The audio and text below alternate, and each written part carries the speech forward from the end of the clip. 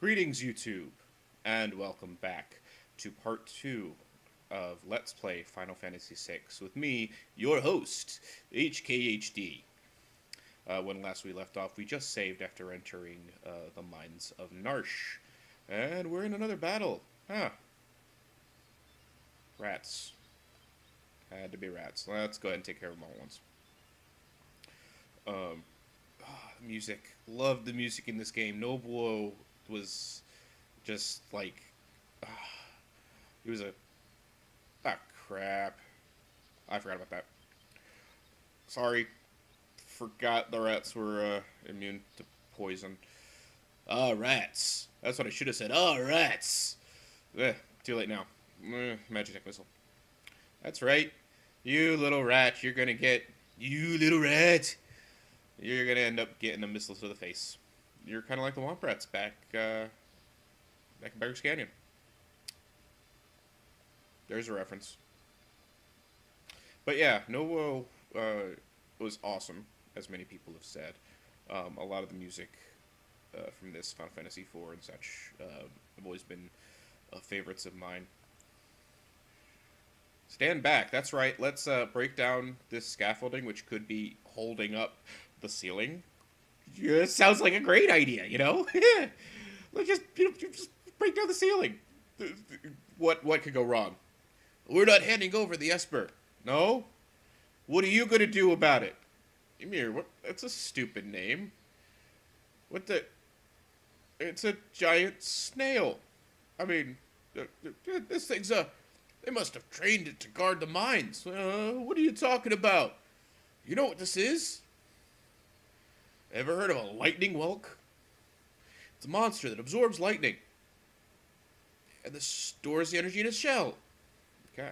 Right. So whatever you do, don't attack the shell. And don't use lightning. In case you didn't get that from the uh, what they said there. Yeah. It seems like every Final Fantasy, I don't know about every, a lot of Final Fantasy have a boss like this. Um, where you you can't attack during a certain time, or at least you shouldn't attack during a certain time, or else you get countered. Um, it's usually like the first boss. You know, Final Fantasy IV. Oh, yep, there we go. It's gonna go in. Final Fantasy IV had the Mist Dragon, where if you attacked it while it was mist, it would freeze your breath. Uh, Final Fantasy VII had the Guard Scorpion. If you attacked it while its tail was up, it would shoot that stupid laser thingy. Come on! Oh, really? This is getting a bit much.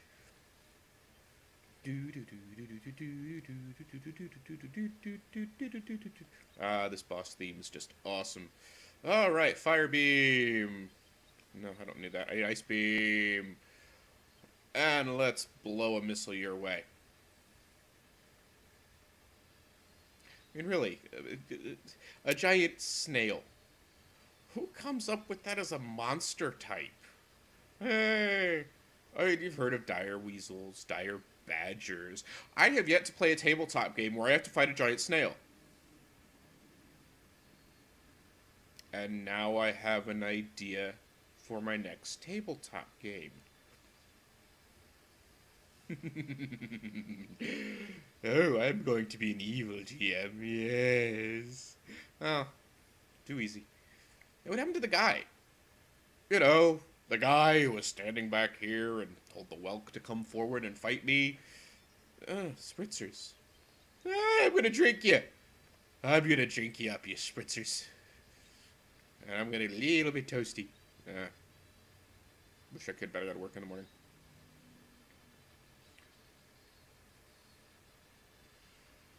Yeah, and there, there's there's another interesting monster type. It's just a, a, a floating blob of goo. Ooh. It's frozen in ice. So this is the frozen Esper. Um, yep. Oh, look, it's glowing. Let's get closer to it, because that's a great plan. That always goes well. Now, I happen to know exactly what Esper this is. This thing's giving me the creeps. Something's not right. Y- y- yeah, well, considering it's glowing, maybe you should tell her to get back. She is under your control with the slave crown. Maybe, maybe you should tell her to get back. Maybe you should. Oh well. Sorry, Wedge. You weren't supposed to die. Biggs is. Kind of funny that Biggs and Wedge kind of becomes a, a, a thing in other Final Fantasies, and you know started off in Star Wars. Star Wars is awesome. Ooh, pretty blue light. And explosions! Explosions! And then black screen. Okay, so now I get to decide how to name the characters. Because I am going to do that. I'm going to name characters. Hmm, I can just lay here. That's right, I'm just going to lay here. I know I can move. Don't tell me I can move. I know I can move. You, you want me to move? Really? Fine, I guess I'll get on with the game. Hey, how you doing? Where am I? My, my, and I just removed the crown. My head hurts. Yeah, I almost blended those two voices together. Yay, look at that thing. Easy there. This is a slave crown. The others were using it to control you.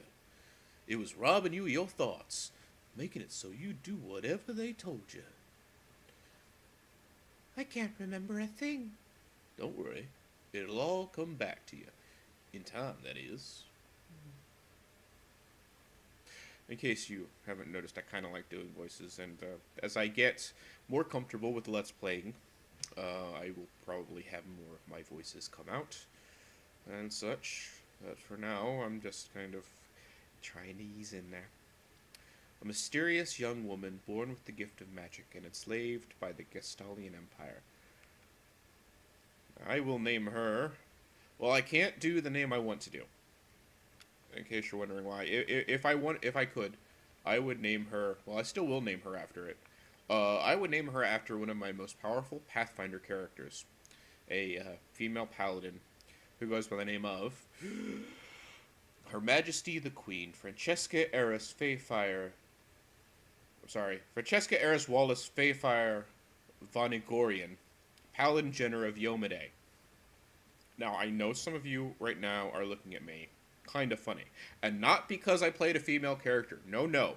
It's because I mentioned the Von Vonigorian. Let's just say, long story short, after a campaign, she kind of ended up being the Queen of Cheliax. A paladin. Queen of Cheliax. Go figure. So, since I can't fit all of Francesca, I will instead do. Uh, if I spell it right, numbnuts. Uh, da, da, da. I will call her Cesca. And Francesca was spelled with C E S C A uh, as her name. My name is Seska. Cesca. Impressive. Never heard of anyone recovering so fast. You must be made of tougher stuff than most. Yeah, I'm badass. I'm half Esper, but you don't know that yet. Oops. Spoilers? Ah, this game's been out long enough. Kind of like stating that Sephiroth is. No, no. I don't know where I was going with that. Oh well. Open up. We're here for the Magitek Armor Pilot. Do-do-do. Open this door right now and hand over the girl. She's an agent of the Empire. Empire? Magitek armor? No, the funny thing is, I named her Francesca, or I named her Cesca after Francesca. Uh, the funny thing of that is Francesca's image uh, for any gameplay that I did with her in uh, Pathfinder. I used an online thing for that. Um, the the model of her was basically um, uh, Lightning from Final Fantasy 13 too. So, pink hair, not green. Uh, no time to explain. Yeah, wrong voice. You need to get out of here. These fools aren't gonna last. Uh, listen to reason. Well, you know what? This way, quickly. I'm not gonna listen to reason either. Wee, wee. I got an elixir. It's almost like I knew that was there. How could I know that? Maybe I played this game a few too many times. Make your way out of town through the mines. I'll try to buy you sometime. Oh, forget about the voice this time. That old man is uh, eh, not part of the group very long. Up there. Oh, great. How you doing? Um, no, no, stay in the back row. Stay in the back row. Uh, by the way, since I, I am playing this in emulator, like I said, um, I am not going to be using save states. Uh, and yeah, I can already see in the comments now, uh, some of you are probably wondering, um, will I be attempting Kefka's Tower? Or not Kefka's Tower, the, um, the Zealot's Tower. Yeah. Yeah, I did it before. It takes a very long time. I will not make you guys sit through the entirety of it. I think when I played it, even with fast forwarding, I timed it. Um, it was like something like half an hour to 45 minutes in one battle, just just at the top, because you, you have to do some bullshit trying to um, keep the get the boss's MP down without him dying, so that his uh, ultimate doesn't go off to kill you, because you know it'll do that. Um, all right, we have reached our second saved point, so I am going to go ahead and save it here. Awesome. Possum. Doo doo. And I'm gonna have to end it here in a minute or two. I don't want to go over time. No, I won't use my magic. I'll just slice. Slice.